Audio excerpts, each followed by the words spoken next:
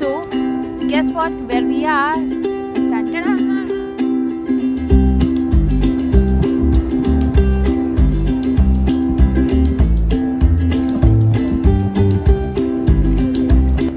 Budapest. Tell me truly in the comment section how many of you already know that these two are two different cities. Yes, it's Buda and Pest.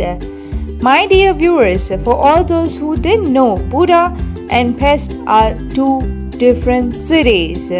Buda located on the hill and Pest on a flat area. They are divided by a lovely Danube river. Yes, the same river that flows in Vienna. If you haven't watched my Vienna vlog, then watch it now by clicking the link on the iCard. Is here, here you find it. So this beautiful river separated these two cities until early 19th century when a noble king came with an idea to unite by building up the world famous chain bridge. So here we go. Welcome back to my channel Dreamcatcher Meera with a complete new video series. It is about the best European destination in 2019, the capital of Hungary, which is number one on the travel bucket list of most of the people in the world. Last summer, I was in Budapest.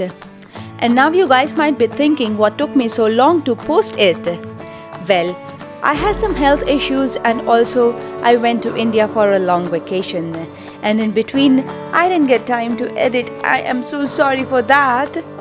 But good part is that I'm back on track and ready to post on my small channel, Dreamcatcher Meera, which needs your love and support. So, as I move forward with this video, hit the like button and subscribe to my channel for such interesting videos. Also, do not forget to share it with your friends and family members and yeah, hit the bell button. Before going into detail of each places, let's understand a bit of geography of Budapest. Budapest has 23 districts, but all of them are not worth visiting. The most visited district of it are 1, 5, 6, 7 and 8. I will talk about them in detail in my upcoming videos. But in this video, I will tell you about things to keep in mind before entering the Paris of East. Yeah, you heard me right. I said it Paris, but of East. And that's what exactly what this beautiful capital of Hungary known as.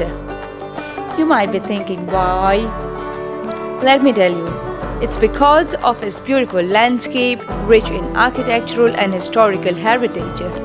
But still, somewhere in my mind, I don't understand the logic behind it, as there is no connection or comparison between these two cities.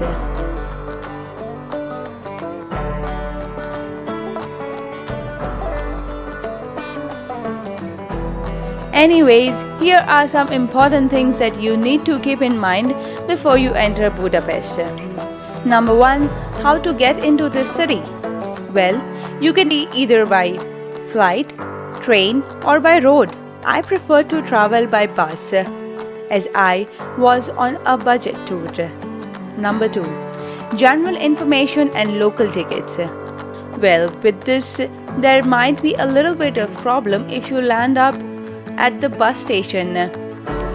As when I entered the information desk of this bus station, the lady didn't know English and could not help me out. So it took me more than an hour and with many rounds here and there searching about the right information about the right travel plan for me. But not to worry because now you have the right information. There are some ticket automatic machines uh, for the local transport where you can select as per your stay and it includes all possible transport of the cities which ranges from 1 day, 2 day, 3 days or 7 days. As I was staying for 5 days, I had selected the 7 days because there was not any intermediate option for me. The other option is to go to the city center at the information center and you can get a Budapest card. And all the information about this card you will find in the link given below in the description.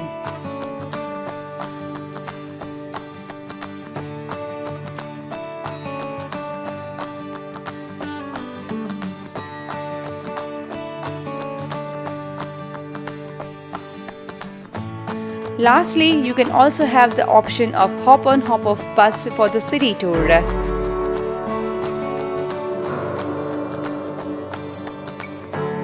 Number 3. Where to stay?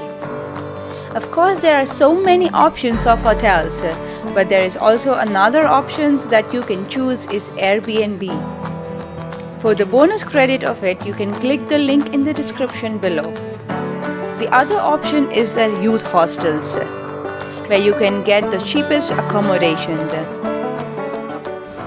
As you can see, pop-up hostel Citadella. Citadella is the area. This is the main reception. It's the library over there.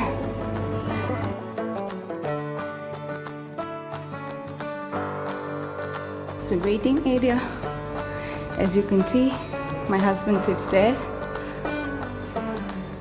And there are two floors here.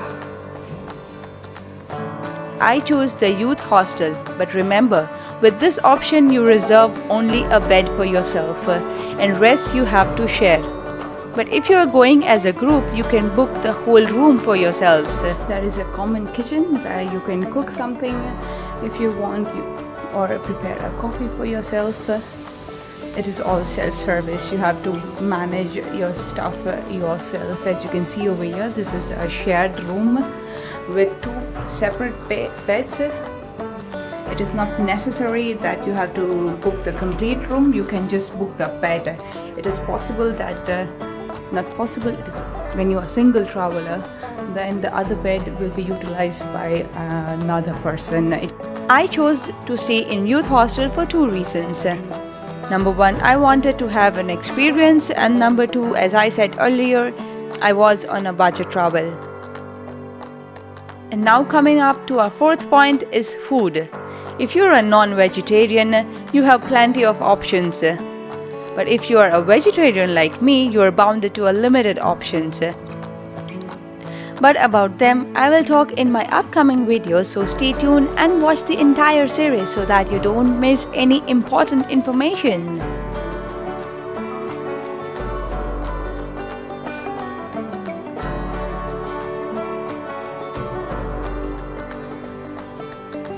Fifth point is where to exchange the currency. Well, it depends totally on you.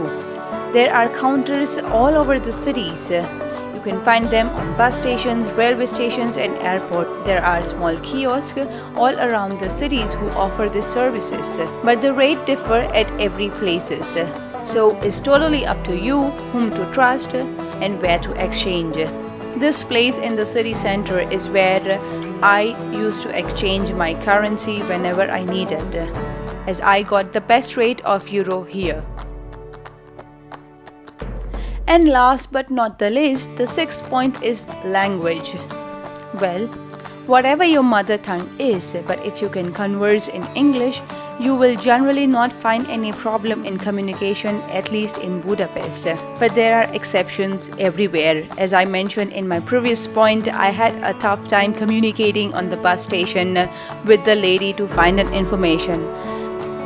But that is not the end there are always another options which will help you out uh, to communicate further.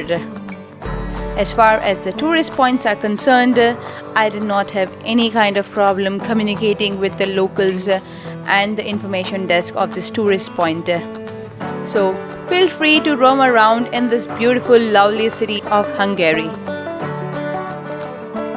With this, I come to an end of this video. That is for today. Thank you for watching this video. I hope you have hit the like button and subscribe to my channel. If, if not, do it right now. It's an humble request because it's only because of your support that I get the motivations to film such interesting places. And some more interesting facts are coming up in the next videos. So, Share it with your friends and family members who are planning to visit Budapest this summer. Closing this video by wishing you a happy journey and a safe journey. Namaste in goodbye and dare to dream. Travel to discover with Dreamcatcher Meera. See you next time.